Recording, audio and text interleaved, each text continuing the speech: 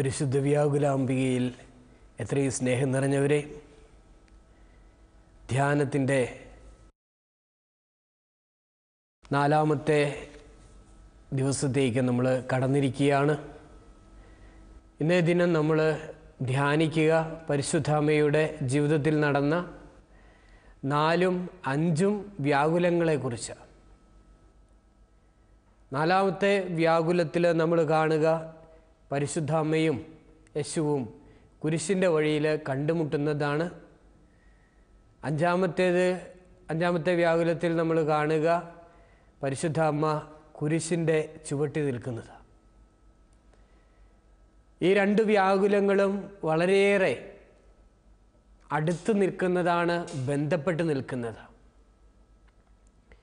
ഒന്നാമത്തെ വ്യാകുലം നമ്മൾ ചിന്തിക്കുമ്പോൾ മാതാവും യേശുവും കുരിശിന്റെ വഴിയിൽ കണ്ടുമുട്ടുന്ന അനുഭവത്തെക്കുറിച്ച് ചിന്തിക്കുമ്പോൾ നമുക്ക് മനസ്സിലാക്കാൻ സാധിക്കും. പരിശുദ്ധ അമ്മയും യേശുവും ഒരുപോലെ ആ വഴിയിലൂടെ നടന്ന് സഹിച്ചുകൊണ്ടിരിക്കുക. ശരീരത്തിന്റെ വേദനയും മനസ്സിന്റെ വേദനയും എല്ലാം സഹിച്ച് മുന്നേറിക്കൊണ്ടിരിക്കുന്ന ഒരു പ്രത്യേക സാഹചര്യം. എന്നാൽ അടുത്ത വ്യാകുലം കുരിശിന്റെ ചുവട്ടിൽ നമ്മൾ കണ്ടെത്തുക അവിടെ നിന്ന് സഹിക്കുകയാണ് രണ്ടുപേരും. പരിശുദ്ധ അമ്മ കുരിശിന്റെ ചുവട്ടിലും യേശുനാഥൻ കുരിശിലുമായിട്ട് കിടക്കുന്ന ആ വലിയ സന്ദർഭം ആകുലങ്ങളുടെ നിറക്കൂട്ടുകൾ കൂടുതലാക്കിക്കൊണ്ടിരിക്കുക. ആകുലങ്ങളുടെ അല്ലെങ്കിൽ വ്യാകുലങ്ങളുടെ വേദനകളുടെ ആഴങ്ങളിലേക്ക് ഒന്നിനോടൊന്ന് ചേർന്നുകൊണ്ടിരിക്കുക ആഴത്തിലേക്ക് കൊണ്ടുപോയിക്കൊണ്ടിരിക്കുക. ഒന്നാമത്തെ ആ വ്യാകുലത്തിലേക്ക് കടന്നു വരാം യോഹന്നാൻ എഴുതിയ സുവിശേഷം പത്തൊമ്പതാം അധ്യായം പതിനാറ് മുതൽ പതിനെട്ട് വരെയുള്ള തിരുവചനങ്ങളിലാണ് ആ, ഈ കുരിശിന്റെ വഴിയിലെ പരിശുദ്ധ അമ്മയുടെയും യേശുവിന്റെയും കണ്ടുമുട്ടലിനെ കുറിച്ച് വിവരിച്ച് പറയുക. യേശു കുരിശു വഹിച്ചു കൊണ്ട് പോകുന്നു. ശിക്ഷ നടപ്പിലാക്കണം. എത്രയും പെട്ടെന്ന് അത് തീർക്കണം. അത് ആ, ഒരു ചിന്തയോടുകൂടി പരി സേവകന്മാർ അതായത് പടയാളികൾ ഈശോയെ മർദ്ദിക്കുന്നു വേദനിപ്പിക്കുന്നു എത്രയും പെട്ടെന്ന് ഓടിക്കുകയാണ് ഈ കുരിശുമായിട്ട്. ഈ സന്ദർഭത്തിലാണ് പരിശുദ്ധ അമ്മയുടെ കടന്നുവരവ്. പരിശുദ്ധ അമ്മയുടെ കണ്ണിൽ പെടുന്ന കാഴ്ചകൾ ആ കാഴ്ചയുടെ തലത്തിൽ നിന്നും അമ്മ അനുഭവിക്കുന്ന വേദനകൾ ദൂരെ നിന്നുള്ള കാഴ്ച അടുത്ത് നിന്നുള്ള കാഴ്ച തന്റെ പുത്രനിൽ സംഭവിക്കുന്ന മാറ്റങ്ങളുടെ പ്രത്യേകതകൾ അവൻ അനുഭവിക്കുന്ന വേദനകളുടെ ആഴങ്ങളിലേക്ക് ഇറങ്ങിച്ചെന്ന പരിശുദ്ധ അമ്മയുടെ ആ ചിന്തകൾ ഇതെല്ലാം പരിശുദ്ധ അമ്മയെ ഈ ആ വ്യാകുലത്തിൽ ഉൾച്ചേർത്ത് ആണ് നമ്മളിവിടെ കണ്ടെത്തുക. പരിശുദ്ധ അമ്മയുടെ വലിയൊരു വ്യക്തിത്വം നമ്മ ഇവിടെ പുനർജനിക്കുന്നും കൂടിയുണ്ട്. ഈ ഒരവസ്ഥയാണ് സിമയോൻ പ്രവചിക്കുന്നത് എന്നും കൂടെ വ്യാഖ്യാനിക്കപ്പെടുന്നുമുണ്ട്. കാരണം അമ്മയുടെ ഹൃദയത്തിലേക്ക് ഒരു വാളല്ല ഒരായിരം വാളുകൾ കടന്നു പോകുന്ന ഒരനുഭവം ഈ വഴിയിൽ ഉണ്ടെന്നുള്ളതാണ് വളരെ വ്യക്തമാകുന്ന ഒരു സത്യം. അമ്മയുടെ മനോമുഖരത്തിൽ തെളിയുന്ന കാഴ്ചകളും അമ്മയുടെ കണ്ണിൽ പതിയുന്ന ദൃശ്യങ്ങളും ഒരുപോലെ നമുക്ക് ഈ ധ്യാനത്തിന്റെ വിഷയങ്ങളാക്കി മാറ്റാം. കാരണം അതിലൂടെ കടന്നു പോകുമ്പോഴാണ് ഈശോയ്ക്ക് നമ്മളോടുള്ള സ്നേഹവും ഈശോയുടെ സ്നേഹത്തിൽ നമ്മളെ ലയിപ്പിക്കാനുള്ള പരിശുദ്ധ അമ്മയുടെ അളവില്ലാത്ത ആ സ്നേഹമൊക്കെ നമ്മൾ മനസ്സിലാക്കുക. പ്രിയപ്പെട്ടവരെ ആ യാത്രയിലേക്ക് കടന്നു വരാം. യേശു തന്റെ കുരിശുമെടുത്ത് കാവൽത്താമലയിലേക്ക് കാൽവരിയിൽ എന്ന് വിളിക്കപ്പെടുന്ന കാവൽത്താമലയിലേക്ക് കടന്നു പോവുകയാണ്. പരിശുദ്ധ അമ്മ ഈ യാത്രക്കിടയിൽ പരി യേശുവിന്റെ മുന്നിലേക്ക് കടന്നു വരിക. ഒരു വളവ് തിരിഞ്ഞ് കടന്നു വരുന്ന ഒരു സ്ഥലമാണെന്നാണ് പറയപ്പെടുക. അമ്മ പതുക്കെ യേശുവിനെ കാണാനായിട്ട് അതിന്റെ ഇടയിലൂടെ ഞെരിഞ്ഞമർന്ന ആളുകളുടെ ഇടയിലൂടെ ഒരു തരത്തിൽ വന്നുകൊണ്ടിരിക്കുക.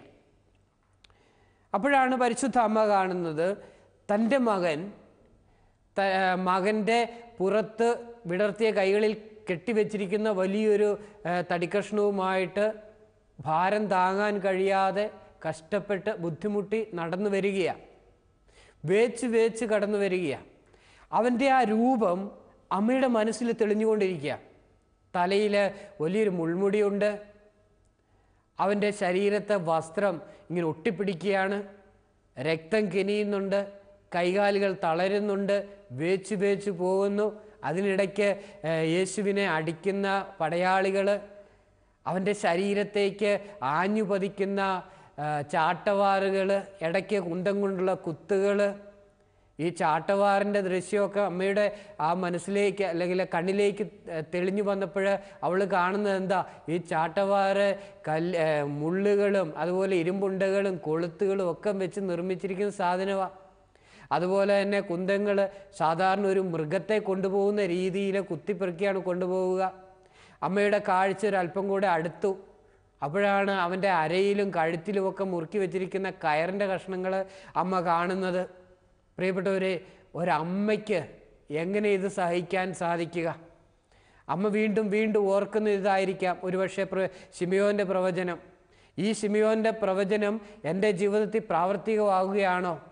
ഞാൻ ശക്തിയില്ലാതെ മരിക്കാൻ പോവുകയാണോ? ആകപ്പാടെ ദേഹം എനിക്കും തളരുന്നുണ്ട്.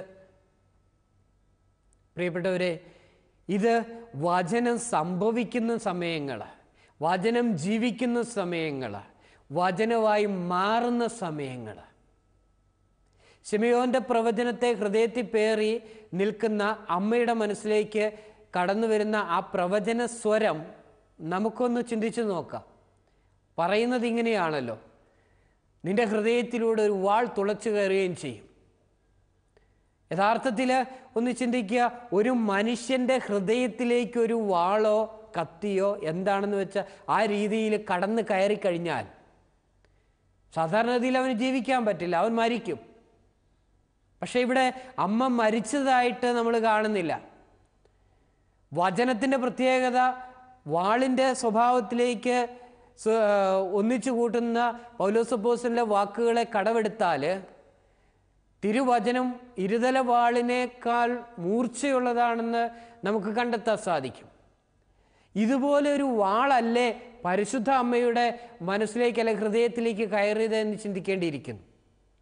എന്നാൽ ഒരു വാളിൽ ഒതുക്കാൻ പറ്റുന്ന ഒരു വേദനയല്ല ഇത് എന്ന് നമുക്കറിയാം.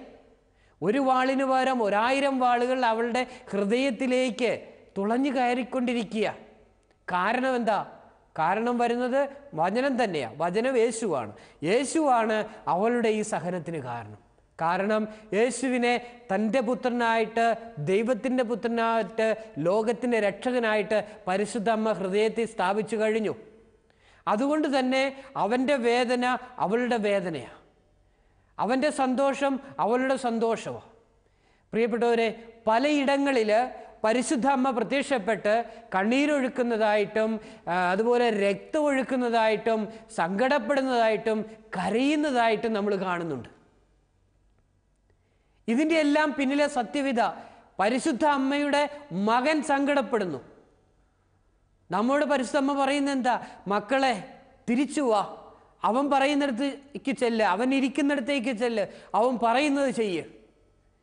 തിരിച്ചു വാ. അവൻ ഇരിക്കുന്നിടത്തേക്ക് ചെല്ല്. അവൻ പറയുന്നത് ചെയ്യ്. അങ്ങനെ അവനെ സന്തോഷിപ്പിക്ക്. അങ്ങനെ അവൻ സന്തോഷിച്ചാൽ ഞാൻ സന്തോഷിക്കും. ഞാൻ സന്തോഷിച്ചാൽ നിങ്ങൾ എല്ലാവർക്കും സന്തോഷമാണ് നാശത്തിൽ നിന്ന് വിടുതലിനായിട്ട് പ്രാർത്ഥിക്കേ. തിരിച്ചു വാ.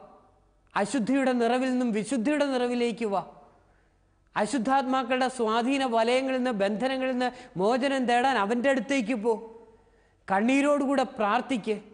വിശുദ്ധ കുരിശിന്റെ ഇടയാളത്താലും തിരു രക്തത്തിന്റെ ശക്തിയാലും ഇവയൊക്കെ ബന്ധിച്ച് നശിപ്പിക്ക് ഓടിക്ക്. ആയിരം വർഷത്തോളം ചങ്ങലകളിൽ പൂട്ടാൻ ദൈവദൂതന്മാരോട് ഇറങ്ങി വരാൻ പ്രാർത്ഥിക്ക്. ഇങ്ങനെ നിരവധിയായ പ്രാർത്ഥനകളും യാചനകളും പ്രിയപ്പെട്ടവരെ പരിശുദ്ധ അമ്മ നമ്മുടെ മുമ്പിലും കൂടെ വയ്ക്കുകയാണ് ജീവനിലേക്ക് കടന്നു വരാൻ. നമ്മെ സ്നേഹിക്കുന്നുകൊണ്ട് അവളുടെ പുത്രനെ അവൻ സ്നേഹിക്കുന്നുകൊണ്ട് പിതാവായ ദൈവത്തിന്റെ കൃപയിൽ ജീവിക്കുന്നതിന്റെ ആവശ്യകത അറിഞ്ഞുകൊണ്ട് തന്നെയാണ് പരിശുദ്ധ അമ്മ ഇത് ചെയ്യുന്നത്. കുരിശിന്റെ വഴിയിലേക്ക് നമുക്ക് കടന്നു വരാം. മകന്റെ വേദന അമ്മയുടെ ഹൃദയവേദന കൂട്ടിക്കൊണ്ടിരിക്കുകയാണ്. ഈ സമയത്ത് തല ഒന്ന് ഉയർത്താൻ പോലും കഴിയാതെ കഷ്ടപ്പെടുന്ന ഈശോ ഒരു നിമിഷം കണ്ണുകൾ ഉയർത്തി തല ഉയർത്തി മാതാവിന്റെ സാന്നിധ്യം മനസ്സിലാക്കുന്നത്. കാരണം അമ്മ വന്നിട്ടുണ്ടെങ്കിൽ മകന് നോക്കാതിരിക്കാൻ പറ്റില്ലല്ലോ. ചില വ്യക്തികൾ പറയാറുണ്ട് പ്രത്യേകിച്ച് എന്തെങ്കിലും അസ്വസ്ഥത വരുമ്പോൾ ദൂരദേശങ്ങളിലായിരിക്കുമ്പോൾ അസ്വസ്ഥത വരുമ്പോൾ അല്ലെങ്കിൽ ഒരു പനിയോ തലവേദനയോ എന്തെങ്കിലും അസുഖങ്ങൾ വരുമ്പോൾ പെട്ടെന്ന് വീട്ടിൽ നിന്നൊരു ഫോൺ വരും. എന്തു പറ്റി മോനെ എന്ന്? എന്താ കാര്യം? അത് അമ്മയും മകനും തമ്മിലുള്ള അമ്മയും മക്കളും തമ്മിലുള്ള വലിയ സ്നേഹബന്ധത്തിന്റെ ബാഹ്യമായ ഒരു അടയാളം കൂടിയായത് മകൻ ഇവിടെ സുഖമില്ലെങ്കിൽ മകക്ക് ഇവിടെ സുഖമില്ലെങ്കിൽ അസ്വസ്ഥ ചിത്തയാണെങ്കിൽ അസ്വസ്ഥ ചിത്തനാണെങ്കിൽ അമ്മയ്ക്ക് അവിടെ സ്വസ്ഥമായിട്ടിരിക്കാൻ പറ്റില്ല. എന്തോ ഒരു പ്രശ്നം എന്തോ ഒരു വേദന എന്തോ ഒരു ബുദ്ധിമുട്ട് എന്റെ മക്കൾ അനുഭവിക്കുന്നുണ്ട്. കിടന്നാൽ പിന്നെ കിടക്കാൻ പറ്റുന്നില്ല. എത്രയും പെട്ടെന്ന് ഫോൺ ചെയ്യും. പ്രിയപ്പെട്ടവരെ അങ്ങനെ സാധാരണ മനുഷ്യരായി നമുക്കുണ്ടെങ്കിൽ ഈശോയുടെ അടുത്തേക്ക് വരുന്ന അമ്മയുടെ സാന്നിധ്യം. ഈ ബുദ്ധിമുട്ടിലും ക്ലേശങ്ങളിലും വേദനയുടെ സഹനത്തിന്റെ കൊടുമുടി നിൽക്കുമ്പോഴും ഈശോയ്ക്ക് അനുഭവിക്കാതിരിക്കാൻ പറ്റുമോ? ഈശോ കണ്ണുകൾ ഉയർത്തി പരിശുദ്ധ അമ്മയെ നോക്കി. കണ്ണിൽ നിന്ന് കണ്ണീര് വരുന്നുണ്ടോ? രക്തമാണോ ഒഴുകുന്നത്? അതോ ഇവയൊക്കെ വറ്റിക്കഴിഞ്ഞോ? ഹൃദയത്തിന്റെ വിങ്ങലുകളാണോ? ഒന്ന് ചിന്തിക്കുക. അമ്മ ആ മുഖത്തേക്കൊന്ന് സൂക്ഷിച്ചു നോക്കി.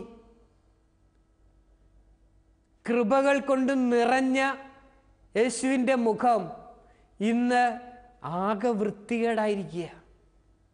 രക്തം കൊണ്ട് മണ്ണ് കൊണ്ട് പടയാളികൾ തുപ്പിയ തുപ്പൽ കൊണ്ട് മുഖം മറയ്ക്കപ്പെട്ടിരിക്കുക. എന്റെ കൈകളിൽ ഒരു കുഞ്ഞായിട്ട് കിടന്നപ്പോൾ അവന്റെ മുഖത്ത് ഞാൻ ദർശിച്ച കൃപയുടെ നിറവ് ആ കത്തിജ്വലിക്കുന്ന പ്രകാശം ഇന്ന് മങ്ങിയോ? ഒരു നിമിഷത്തേക്ക് പരിശുദ്ധ അമ്മ ചിന്തയിലാണ്ട് പോയി കാണും. ഈ പുത്രൻ ഇങ്ങനെ കിടന്ന് ഈ വേദന അനുഭവിക്കുമ്പോൾ ഉണ്ടാകുന്ന മാറ്റങ്ങൾ ഒക്കെ ഹൃദയത്തിലേക്ക് പേറുന്ന പരിശുദ്ധ അമ്മയുടെ ആ സഹനത്തിന്റെ ആഴം പ്രിയപ്പെട്ടവരെ ഏത് അളവുകോലുകൊണ്ട് അളക്കാൻ പറ്റും? അമ്മ ഇങ്ങനെ മകന്റെ ഹൃദയത്തിലേക്കും അവന്റെ കണ്ണുകളിലേക്കും അവന്റെ ആ അവസ്ഥയിലേക്കും ഒക്കെ നോക്കിക്കൊണ്ടിരിക്കുക ശ്രദ്ധിച്ചുകൊണ്ടിരിക്കുക. അമ്മ ഒരു വാക്കും മകനോട് പറയുന്നില്ല. പക്ഷേ പിതാവായ ദൈവത്തോട് പറയുന്നുണ്ട് ഇതാ കർത്താവിന്റെ ദാസി. നിന്റെ വചനം പോലെ എന്നെ സംഭവിക്കട്ടെ?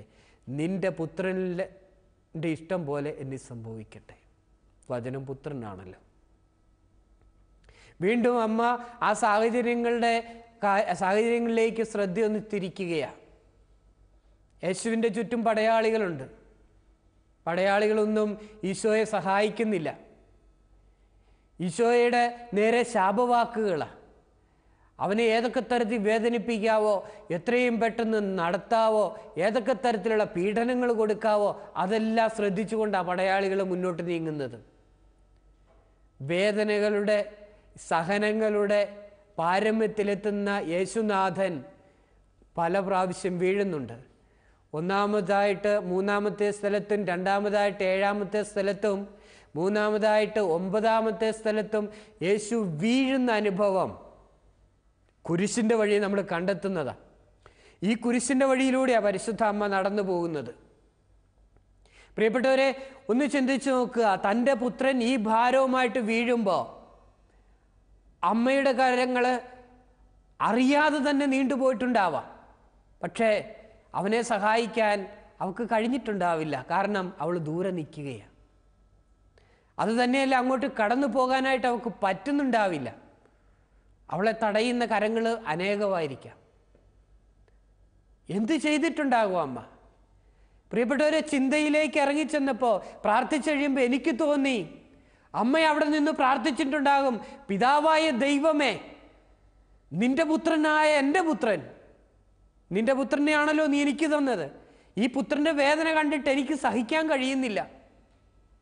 അവനെ ഒന്ന് സഹായിക്കാൻ രണ്ട് കരങ്ങൾ കൊടുത്തുകൂടെ? ഇത്രയെല്ലാം പ്രശ്നങ്ങളുണ്ടായല്ലോ അവനെ ഒന്ന് സഹായിക്കാൻ. പ്രിയപ്പെട്ടവരെ പരിശുദ്ധാമ്മ പ്രാർത്ഥിച്ചിട്ടുണ്ടാവണം. അതുകൊണ്ട് തന്നെയാണ് തണ്ടും തണ്ടേടവുമൊക്കെയുള്ള തടിയുള്ള ഒരു മനുഷ്യൻ സിമിയോന്റെ രൂപത്തിൽ അവിടെ പ്രത്യക്ഷപ്പെട്ടത്. തന്റെ പുത്രനെ സഹായിക്കുന്ന ഷിമിയോനെ കണ്ട് ഒരു നിമിഷത്തേക്കെങ്കിലും പരിശുദ്ധ അമ്മയൊന്ന് ആശ്വസിച്ചിട്ടുണ്ടാവും. എങ്കിലും ഓർക്കുക ആ സഹനം അവിടെ തീരുന്നില്ല. പരിശുദ്ധമ്മ വീണ്ടും വീണ്ടും പ്രാർത്ഥിക്കുക. അവന്റെ മുഖം ആകെ വൃത്തികേടായിപ്പോയി പിതാവേ. അതൊന്ന് തുടയ്ക്കാൻ ആരുമില്ലേ? ഒത്തിരി അനുഗ്രഹങ്ങൾ പ്രാപിച്ച ഒത്തിരി സ്ത്രീകളില്ലേ? ഒത്തിരി വ്യക്തികളില്ലേ? ആരെങ്കിലും ഒരാൾ നിനക്കൊന്ന് ഒരുക്കിക്കൂടെ? ഉത്തരം പെട്ടെന്നുണ്ടായി. വെറോനിക്കായുടെ രൂപത്തിൽ യേശുവിന്റെ മുമ്പിൽ ഈ തടസ്സങ്ങളെയൊക്കെ അവഗണിച്ചുകൊണ്ട് ഒരു സ്ത്രീ പ്രത്യക്ഷപ്പെടുകയാണ് അവളുടെ കയ്യിലിരുന്ന് തുവാല യേശുവിന്റെ കയ്യിലേക്ക് കൊടുത്തു. അവനത് മുഖം ഒന്ന് തുടച്ചു തിരിച്ചു കൊടുത്തു. നോക്ക് പിതാവായ ദൈവത്തിന്റെ മനസ്സനുസരിച്ച് പ്രവർത്തിക്കാൻ രക്ഷാകരമായ ജോലി അതിന്റെ പൂർണതയിൽ നിർവഹിക്കാൻ ഒരു മകനെ പിന്നിൽ നിന്ന് പ്രാർത്ഥന കൊണ്ട് ദൈവപിതാവായുള്ള ബന്ധം കൊണ്ട് സഹായിക്കുന്ന സംരക്ഷിക്കുന്ന പരിപാലിക്കുന്ന ഒരു ഉത്തമയായ അമ്മയുടെ ദൃശ്യം. ഇതാ പരിശുദ്ധ അമ്മ. ഈ രക്ഷാകരമായ ജോലിക്ക് അവൾ തടസ്സമല്ല. പക്ഷേ അമ്മയല്ലേ വേദനിക്കാതിരിക്കുമോ ഹൃദയം പിടയുന്ന ഹൃദയം മുറിവേൽപ്പിക്കപ്പെടുന്ന രീതിയിലുള്ള വേദന അമ്മ അനുഭവിക്കുന്നുണ്ട്. അപ്പോഴും തിരുഹിതത്തിന് വേണ്ടി ഹൃദയം തുറന്നു പ്രാർത്ഥിക്കുക ഇതാ പരിശുദ്ധ അമ്മ. ആരെങ്കിലും കുറ്റം പറയുന്നുണ്ടോ? ആരെങ്കിലും കുറ്റം പറഞ്ഞാൽ ഈ രക്ഷാകരമായ ജോലിക്ക് അവൾ ഈശോയെ സഹായിക്കുന്നു എന്നർത്ഥം വരുമോ? ഈ സഹനങ്ങളെ കുറയ്ക്കാനായിട്ട് അവൾ ഒരു കൈയെങ്കിലും ഉപയോഗിച്ചാൽ ഈ ലോകത്തിന്റെ പാപഭാരം എങ്ങനെയാ കുറയുക? അപ്പോൾ അവൾക്ക് ചെയ്യാൻ കഴിയുന്നത് എന്താ? പിതാവായ ദൈവത്തോട് പറയാം ദൈവമേ നിന്റെ പുത്രന്റെ വേദന നീ കാണു. ഒന്ന് സഹായിക്ക്. ഒരു നിമിഷം ആശ്വാസം കൊടുക്ക്. പിന്നീട് നമ്മൾ കാണുന്നില്ലേ? ജെറൂസലേം സ്ത്രീകൾ വന്ന് ആശ്വസിപ്പിക്കാൻ ശ്രമിക്കുന്നു. ഒരമ്മ ഇതിലപ്പുറം എന്ത് ചെയ്യും? രക്ഷാകരമായ ജോലിക്ക് സഹരക്ഷകയായിട്ട് തീരുന്ന പരിശുദ്ധ അമ്മയ്ക്ക് പിതാവായ ദൈവത്തിന്റെ ഇഷ്ടത്തിന് വിരുദ്ധമായിട്ട് ഇനി എന്തെങ്കിലും എന്തെങ്കിലും ചെയ്യാൻ കഴിയുമോ? കഴിയില്ല. കാരണം അമ്മയ്ക്ക് അമ്മയുടെ ജീവിതം അതാ. വീണ്ടും യേശുവിന്റെ ശരീരത്തേക്കൊന്ന് ചിന്തിക്ക്. യേശു തളർന്നു. മുറിവേൽപ്പിക്കപ്പെട്ട ശരീരമാണ് തകർക്കപ്പെട്ട ശരീരമാണ്. ഇതിനെ കൂടുതൽ വേദന കൊടുക്കുന്ന രീതിയിൽ അവന്റെ തലയിലേക്ക് ഈ മുൾമുടി കുത്തിക്കയറ്റി അതിന്റെ ചരിത്രങ്ങളിലേക്കൊക്കെ കടന്നു പോകുമ്പോൾ വളരെയേറെ വേദനാജനകമായ കാര്യങ്ങളാണ് വെളിപ്പെടുത്തപ്പെടുന്നത്. ഈ മുള്ളിനൊരു പ്രത്യേകതയുണ്ട്. ഈ മുള്ളൊരു പ്രത്യേകതരം ചെടിയിൽ നിന്നാണ് ഉണ്ടാക്കിയത്. ഈ ചെടി ഒരു വിഷ ചെടിയാണ്. ഈ മുള്ളു കൊണ്ടു കഴിഞ്ഞാൽ മുറിവുണ്ടാകും. ആ മുറിവിൽ നിന്ന് രക്തം തുടർച്ചയായിട്ട് ധാരധാരയായിട്ട് ഒഴുകും. അതൊരിക്കലും നിലയ്ക്കില്ല. ഈ വിഷാംശം ഉള്ളതുകൊണ്ട് ആ മുറിവിൽ നിന്നും രക്തത്തുള്ളികൾ ഇങ്ങനെ ഒഴുകിക്കൊണ്ടേയിരിക്കും. രക്തം വാർന്ന് വാർന്ന് ആ വ്യക്തി മരിക്കുകയും ചെയ്യും. ഈ ഒരു അവസ് ഈ ഒരു മുള്ളുകൊണ്ടാണ് അവന് കിരീടം ഉണ്ടാക്കി കൊടുത്തതെന്നാണ് പറയുക. അത് വെച്ച് അവന്റെ തലയിലേക്ക് അമർത്തി. അവന്റെ കണ്ണിലേക്കും അവന്റെ കാതിലേക്കും അവന്റെ തലയോട്ടിയിലേക്കും ആഴ്ന്നിറങ്ങുന്ന തരത്തിൽ ശക്തിയുള്ള ഒരു തരത്തിലുള്ള മുള്ളുകളും കൂടിയായിരുന്നു ഇത്. ആ തരത്തിലാണ് ഈ കിരീടം ഉണ്ടാക്കിയതെന്നാണ് അതിന്റെ വിശദീകരണത്തിലൂടെ കടന്നുപോയപ്പോൾ ഞാൻ കണ്ടത്. പ്രിയപ്പെട്ടവരെ ഇത് കാണുന്നവന്റെ ഹൃദയം പൊടി. സാധാരണ ഒരു വ്യക്തി കണ്ടാൽ പോലും സഹിക്കാൻ കഴിയാത്ത ഒരു പ്രത്യേക അവസ്ഥയാണ് അവിടെയാ അമ്മ നിൽക്കുന്നത്. പിതാവായ ദൈവത്തിന്റെ കരം പിടിച്ചുകൊണ്ട്. ഒന്ന് നോക്കുക അമ്മ അമ്മയുടെ ഹൃദയത്തിലേക്ക് ഒരു വാൾ കടക്കും. വാൾ കടന്നു അവൾ മരിച്ചു. എങ്കിലും ജീവിക്കുന്നു. എവിടെയാ? ത്രിത്വിക ദൈവത്തിൽ. ത്രിത്വിക ദൈവം അവളിൽ ജീവിച്ചതുകൊണ്ട് ആ ദൈവത്തെ അവൾ ചുമന്ന് നടന്നതുകൊണ്ട് ആ ദൈവത്തിന്റെ ശക്തിയിൽ അവൾ മുന്നോട്ട് നീങ്ങിയതുകൊണ്ട് അവൾക്കത് സഹിക്കാൻ കഴിഞ്ഞു. അതുപോലെ തന്നെ നമുക്ക് മനസ്സിലാക്കാൻ സാധിക്കും ഇത് ഒരു രക്ഷാകരമായ ഇടപെടലാണ്. പിതാവായ ദൈവത്തിന്റെ പ്രത്യേകമായ പരിപാലന പരിശുദ്ധ അമ്മയ്ക്ക് ലഭിച്ചു. അതുകൊണ്ട് മാത്രമാണ് അവൾക്ക് അവിടെ പിടിച്ചു നിൽക്കാൻ കഴിഞ്ഞത്. അല്ലെങ്കിൽ തന്റെ പുത്രൻ അനുഭവിച്ച ഓരോ വേദനയിലൂടെയും ആയിരക്കണക്കിന് പ്രാവശ്യം അമ്മ മരിച്ചു വീണുകൊണ്ടിരുന്നേനെ. ഈ വേദനകളെല്ലാം അമ്മയ്ക്ക് സഹിക്കാൻ കഴിഞ്ഞത് പിതാവായ ദൈവത്തിന്റെ മുമ്പിൽ ജീവിതത്തെ സമർപ്പിച്ചതുകൊണ്ട് മാത്രമാണ് പിതാവായ ദൈവം അവളെ കരങ്ങളിൽ വഹിച്ചു മാറോട് ചേർത്തു ശക്തിപ്പെടുത്തി. എന്നിട്ട് പറഞ്ഞു ഇവൻ ഇത് സങ്ക സഹിക്കുന്നതിൽ എനിക്കും സങ്കടമുണ്ട്. പക്ഷേ ഈ ലോകത്തിന്റെ ഭാരം ഇവൻ വഹിക്കണം.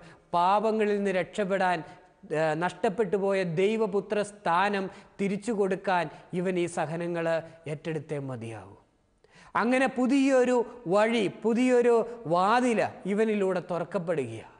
ഇതിലൂടെ കടന്നു വരുന്നവൻ രക്ഷ പ്രാപിക്കും അതുകൊണ്ടാ മത്തായി എഴുതിയ സുവിശേഷം പതിനാറാം അധ്യായ ഇരുപത്തിനാലാമത്തെ തിരുവചനത്തിൽ പറയുന്നത് ആരെങ്കിലും എന്നെ അനുഗമിക്കാൻ ആഗ്രഹിക്കുന്നെങ്കിൽ അതായത് ആരെങ്കിലും രക്ഷപ്പെടാൻ ആഗ്രഹിക്കുന്നെങ്കിൽ അവൻ തന്റെ അനുദിന കുരിശുമെടുത്ത് എന്റെ പിന്നാലെ വരട്ടെ. നിന്റെ വേദനകൾ ബുദ്ധിമുട്ടുകൾ ക്ലേശങ്ങൾ പ്രശ്നങ്ങൾ പ്രതിസന്ധികൾ എല്ലാം സ്വീകരിച്ചുകൊണ്ട് എന്റെ പിന്നാലെ വാ. നിന്നെ ഞാൻ ജെറുസലേം സ്ത്രീകളൊക്കെ ആശ്വസിപ്പിച്ചതുപോലെ ആശ്വസിപ്പിക്കാം. കുരിശോട് മുട്ടി നിൽക്കുന്ന ഷെമിയോന് കിട്ടുന്ന സ്വാതന്ത്ര്യം അവന് കിട്ടുന്ന സമാധാനം നിനക്കും അനുഭവിക്കാൻ പറ്റും. നിന്റെ വേദന കൊണ്ട് പ്രശ്നം കൊണ്ട് പ്രതിസന്ധി കൊണ്ട് നീ കടന്നു പോകുമ്പോൾ നീ കാൽ തട്ടി നിലത്ത് വീഴാം. ജീവിതത്തിൽ പരാജയങ്ങളുണ്ടാകാം നാശങ്ങളുണ്ടാകാം. അവിടെ നിന്ന് രക്ഷപ്പെടാനായിട്ട് നിനക്ക് കഴിയാതെ വരും. പക്ഷേ നീ എന്റെ കൂടെ വന്നാൽ നിന്നെ താങ്ങാൻ നിന്നെ സഹായിക്കാൻ നിന്നെ തമ്പുരാന്റെ പിതാവായ ദൈവത്തിന് സ്വന്തമാക്കി മാറ്റാൻ എനിക്ക് കഴിയും. വീണ്ടും വചനം പറയുന്നു എന്റെ പിന്നാലെ വരാത്തവൻ എന്റെ ശിഷ്യനല്ല. എന്റെ പിന്നാലെ വരാത്തവൻ എന്റെ ശിഷ്യനല്ല. അതായത് സഹനങ്ങളെ സ്വീകരിക്കാത്തവൻ എന്റെ ശിഷ്യനല്ല. പരിശുദ്ധ അമ്മ പിതാവായ ദൈവത്തിന്റെ യഥാർത്ഥ ശിഷ്യയായി യഥാർത്ഥ മകളായി. കാരണം ഈ വന്ന സഹനങ്ങളെല്ലാം അമ്മ ഒന്നും മാറ്റിവെക്കാതെ ഭാഗിച്ചു വെക്കാതെ ഹൃദയത്തിലേക്ക് സ്വീകരിക്കുക. ഈ വഴിയിലേക്കാണ് പ്രിയപ്പെട്ടവരെ നമ്മളെല്ലാവരും വിളിക്കുന്നത്. കാരണം അനുഗ്രഹത്താൽ നിറയ്ക്കുന്നതിന് വേണ്ടി തന്നെയാണ് അതുപോലെ തന്നെ ഈശോ നമ്മെ പറഞ്ഞു പഠിപ്പിക്കുന്നുണ്ടല്ലോ. നിങ്ങൾക്ക് പരസ്പര നിങ്ങളുടെ പരസ്പര സ്നേഹം കാണുമ്പോൾ മറ്റുള്ളവർ പറയും നിങ്ങൾ എന്റെ ശിഷ്യന്മാരാണെന്ന് അവസാനത്തെ കൽപ്പനയുടെ പൂർത്തീകരണം. അതായത് നിങ്ങൾക്കൊരു പുതിയ കൽപ്പന ഞാൻ തരുന്നു. നിങ്ങൾ പരസ്പരം സ്നേഹിക്കുക നിങ്ങൾ ഞാൻ സ്നേഹിച്ച പോലെ നിങ്ങൾ പരസ്പരം സ്നേഹിക്കണം. അങ്ങനെ നിങ്ങൾ പരസ്പരം സ്നേഹിക്കുമ്പോൾ അത് കാണുന്ന മറ്റുള്ളവർ പറയും നിങ്ങൾ എന്റെ ശിഷ്യന്മാരാണ്. ഓക്കെ ഇതൊരു തുടർച്ചയാണ് വലിയ ബന്ധങ്ങളാണ് ഇതിലെല്ലാം. നമ്മുടെയൊക്കെ ജീവിതത്തിന്റെ ലക്ഷ്യം ജീവിത വിജയം കണ്ടെത്തി നിത്യതയിലേക്ക് പോവുകയാണ് അതിന്റെ വഴി ഇതാ സഹനം സ്വീകരിക്കുക യേശുവിന്റെ ശിഷ്യനായി മാറുക പിതാവായ ദൈവത്തിന്റെ സ്വന്തമായി മാറുക അങ്ങനെ ജീവിതം അതിന്റെ സായുജ്യത്തിലേക്ക് കടത്തിവിടുക. ഈ സഹനത്തിന്റെ പാതയിലൂടെ കടന്നു വരുന്ന പരിശുദ്ധ അമ്മ നമ്മെ പറഞ്ഞു പഠിപ്പിക്കുന്നതും മറ്റൊന്നല്ല. പിതാവായ ദൈവത്തിന്റെ മുമ്പിൽ നീ നിന്റെ നിലനിൽപ്പ് കണ്ടെത്ത്. നിന്റെ ഉള്ളിലെ ദൈവിക ജീവനെ പ്രവർത്തിക്കാൻ അനുവദിക്കുക നീ അങ്ങനെ ദൈവത്തിന്റെ സ്വന്തമായി മാറും. നഷ്ടപ്പെടുത്താനുള്ളവനല്ല നീ. നഷ്ടപ്പെട്ട് നിരാശയിൽ ജീവിക്കേണ്ടവനല്ല നീ. വിശ്വസിച്ച് പ്രത്യാശയോടുകൂടെ സഹനങ്ങളെ സ്വീകരിച്ച് മുന്നോട്ട് പോകേണ്ട വ്യക്തിയാണ് നീ. അങ്ങനെയാണെങ്കിലേ നിനക്ക് സന്തോഷത്തോടെ ജീവിക്കാൻ പറ്റുള്ളൂ. സഹനങ്ങളെ ഹൃദയത്തിൽ സ്വീകരിക്കുമ്പോഴേ നീ സ്വസ്ഥന സ്വസ്ഥതയോടുകൂടി ജീവിക്കാൻ പറ്റുള്ളൂ. ആ സ്വസ്ഥത നിനക്ക് മറ്റുള്ളവർക്ക് കൊടുക്കാൻ പറ്റുള്ളൂ. അങ്ങനെ നിന്റെ ജീവിതത്തിന് അർത്ഥം ഉണ്ടാവുകയുള്ളൂ.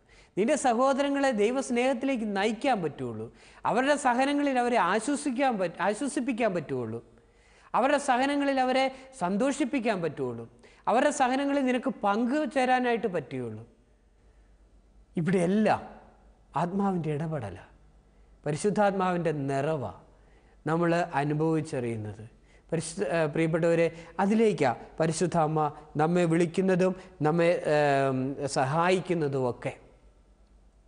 അതുപോലെ തന്നെ പരിശുദ്ധ അമ്മ അവളുടെ കണ്ണീരൊഴുക്കുമ്പോൾ പ്രാർത്ഥിക്കുമ്പോൾ പ്രത്യേകമായ വിധത്തിൽ ഈ ഒരു അവസരത്തിൽ നമ്മെ പ്രാർത്ഥിക്കാനായിട്ട് പഠിപ്പിക്കുന്നത് സഹനങ്ങളുടെ പാതയിലൂടെ നടക്കുന്ന ഒരു പ്രത്യേക അവസ്ഥയാണ്.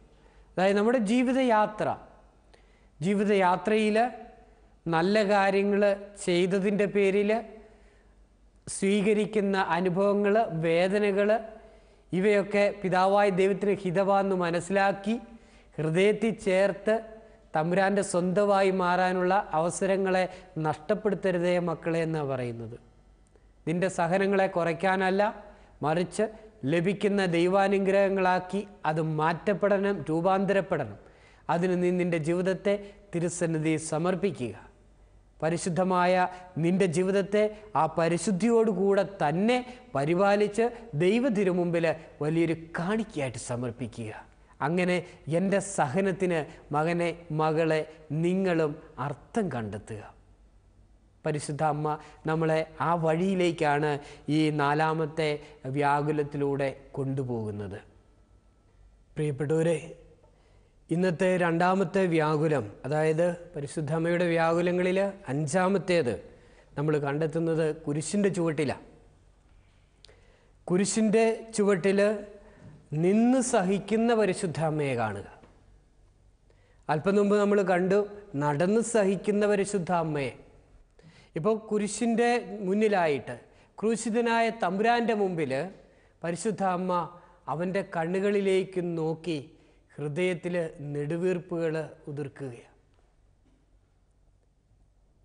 മരണത്തോട് മല്ലടിക്കുന്ന സ്വപുത്രനെ കണ്ണിമ വെട്ടാതെ നോക്കുന്ന അമ്മയുടെ ഹൃദയകാരിയായ ആ നിമിഷങ്ങൾ ഏത് രീതിയിൽ തന്റെ വേദന വർണിക്കും? ഏത് രീതിയിൽ തന്റെ ജീവിതത്തെ പിതാവായ ദൈവത്തിന്റെ മനസ്സോട് അനുരൂപപ്പെടുത്തി ചിട്ടപ്പെടുത്തും? എങ്ങനെയാ ഞാൻ മറ്റുള്ളവരുടെ മുമ്പിൽ പ്രതികരിക്കുക? ആരെയൊക്കെയാ കുറ്റപ്പെടുത്തുക? അല്ലെങ്കിൽ കുറ്റപ്പെടുത്താൻ എന്തെങ്കിലും ഉണ്ടോ? ഇത് പിതാവായ ദൈവത്തിന്റെ ഇഷ്ടം തന്നെയാണോ? അല്ലെങ്കിൽ ഞാൻ എന്ത് ചെയ്യണം? ആണെങ്കിൽ ഞാൻ എന്ത് ചെയ്യണം? പ്രിയപ്പെട്ടവരെ ഉത്തരം കിട്ടാത്ത ചോദ്യങ്ങളും വ്യക്തമല്ലാത്ത ഉത്തരങ്ങളും പരിശുദ്ധമ്മയുടെ മനസ്സിലൂടെ ഒരു നിരയായിട്ട് കടന്നു പോയിട്ടുണ്ടായിരിക്കണം. കാരണം ആരോടെങ്കിലും അവൾക്ക് ചോദിക്കാനില്ല അവക്കാരെങ്കിലും ഉത്തരം കൊടുക്കാനുമില്ല. ഉള്ളവനാ ഈ കിടക്കുന്നത് കുരിശിന്റെ മുകളിൽ മൂന്നാളുകളിൽ ക്രൂശിതനായി കിടക്കുന്ന സ്വപുത്രന്റെ കണ്ണുകളിലേക്ക് നോക്കി ഉത്തരം കണ്ടെത്താൻ ശ്രമിക്കുന്ന ഒരമ്മ. സഹനത്തിന്റെ ചൂളയിലിങ്ങനെ വെന്ത് ഉരുകുകയാണ്. ഈ സമയത്താ പരിശുദ്ധ അമ്മയ്ക്ക് ഒരു ആശ്വാസം കൊടുക്കുന്ന വചനം ഉണ്ടാവുക. അല്ലെങ്കിൽ യേശു സംസാരിക്കുന്നതായിട്ട് നമ്മൾ കാണുന്നത്. ആ സാഹചര്യത്തിലേക്കൊന്ന് കടന്നു വരിക. കുരിശിന്റെ ചുവട്ടിൽ പരിശുദ്ധ അമ്മയുണ്ട്. അമ്മയുടെ സഹോദരി ഒരു മേരിയുണ്ട്. അതുപോലെ തന്നെ തന്റെ പ്രിയപ്പെട്ട ശിഷ്യന്മാരും അതിൽ ഏറ്റവും പ്രിയപ്പെട്ടവനായ എന്ന് പറയപ്പെടുന്ന യോഹന്നാനും ഉണ്ട്. ഇതൊക്കെ കണ്ടുകൊണ്ട് ചുറ്റുവട്ടം ചുറ്റുവട്ടത്തും വേറെ ചിലരുമുണ്ട്. ചില ഭക്ത സ്ത്രീകളുണ്ട്. അനുഗ്രഹങ്ങളൊക്കെ പ്രാപിച്ച ചില വ്യക്തികളുണ്ട്. യേശുവിനെ ക്രൂശിക്കാനായിട്ട് കൊണ്ടുവന്ന പടയാളികളുണ്ട്. യേശു മരിച്ചോ ഇല്ലയോ എന്ന് തീർച്ചപ്പെടുത്താനായിട്ട് കണ്ണ് കൂർപ്പിച്ച് നിൽക്കുന്ന പടയാളികൾ സേവകർ ഇങ്ങനെ ഒരുപറ്റം ആളുകൾ കുരിശിന്റെ ചുവട്ടിൽ തന്നെയുണ്ട് അപ്പോഴാ ഈശോ പരിശുദ്ധ അമ്മയെ നോക്കിയിട്ട് പറയുന്നത് യോഹന്നാനെ ചൂണ്ടിക്കാണിച്ചിട്ട് പറയുക ഇതാ നിന്റെ മകൻ. യോഹന്നാനോട് പറഞ്ഞു ഇതാ നിന്റെ അമ്മ. വചനം പറയുന്നു ആ നിമിഷം മുതൽ അമ്മയെ പരിശുദ്ധ അമ്മയെ മാതാവിനെ അവൻ തന്റെ ഭവനത്തിലേക്ക് സ്വീകരിച്ചു.